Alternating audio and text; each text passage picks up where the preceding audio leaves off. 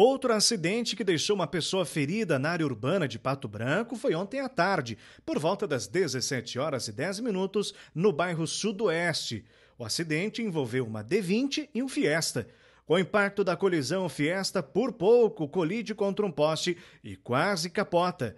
O Corpo de Bombeiros prestou os primeiros socorros à condutora do carro que sofreu ferimentos leves. A Polícia Militar esteve no local auxiliando na ocorrência.